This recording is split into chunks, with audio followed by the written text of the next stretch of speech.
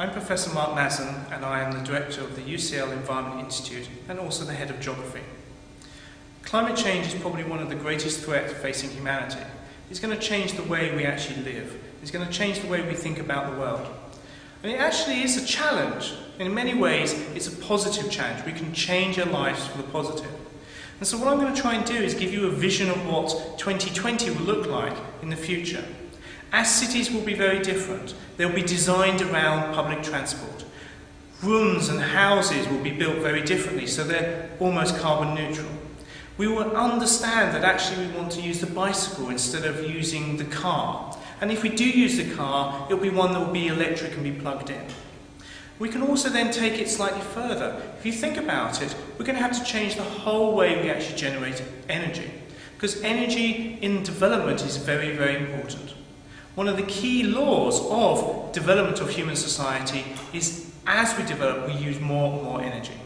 So we have, at the moment, six and a half billion people on the planet, five and a half billion who want to have the same lifestyle as we have in the developed world. And they will require a lot of energy. Now the key thing about climate change is the problem is producing carbon dioxide and other greenhouse gases. So if we can find energy sources to actually prevent that, for example renewables, wind, solar, wave, even nuclear, which have a very low carbon footprint, we can produce lots of energy. So interestingly enough, in the United Kingdom, we're going to completely change the way we generate electricity.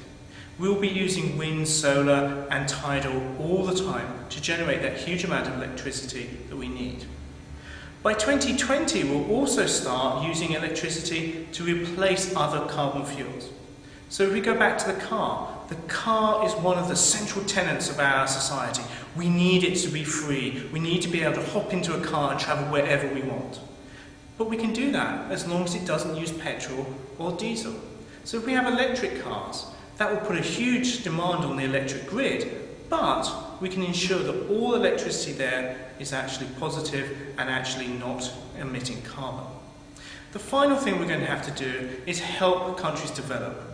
At the moment, we have China and India and Indonesia banging at our doors trying to develop because they want the same lifestyle that we have.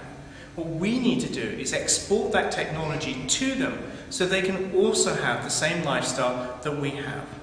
Ultimately, global warming is a very positive thing for human society because up to now we've been able to ignore all the other countries in the world. We've been able to ignore all the poor countries.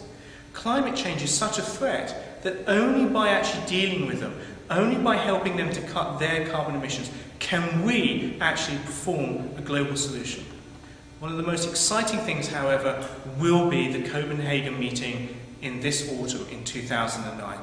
What happens there will actually change the face of our planet and the way human society works for the next generation.